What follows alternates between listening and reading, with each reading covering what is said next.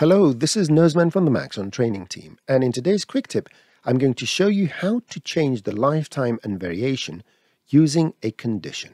We're going to start with this very thin emitter, and it's going to allow us to see the effect a bit easier.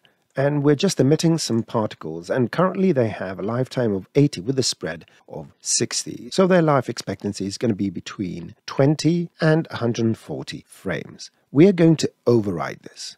And uh, to do that, we're going to use a field condition and put it in this main particle group. In this field condition, we're going to add a spherical field. And I'm going to make it a bit larger. I think that's good enough. And I'm going to move it on the z-axis. Now, as it is, nothing is going to happen because we haven't told this condition to do anything. And I'm going to pull my spherical field up here so it's uh, easier to read.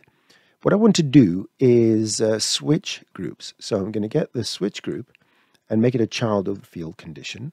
And let's create a particle group and name it switched. And let's uh, drag this down here. Don't forget to assign the switch to the switched group. And I'm going to go and override the color so we can see it.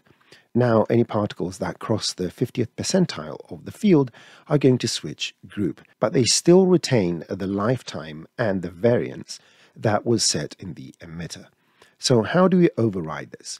Well, the first thing is to take a math modifier, put it before the switch, and assign the age to zero frames. So we are going to give them a new lease of life that starts from zero frames when they enter this field. So let's call this math age reset. Now let's go and add one more math underneath this one.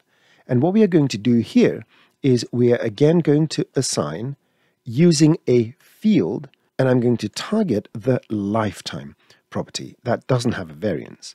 One thing you need to remember is that when we are in fields mode, the value is in seconds. It's not frames.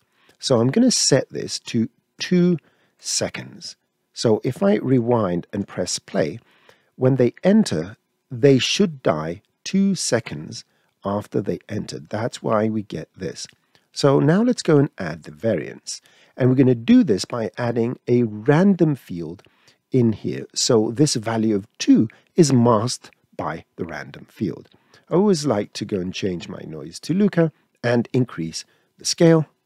And now if you rewind and press play, you will see that we are going to get randomized life expectancy for these particles. You can also animate it, and now we're going to get some sort of animated pattern in their lifetime variation. If you enjoy our quick tips, please like, comment, subscribe, and enable notifications so you never miss another quick tip.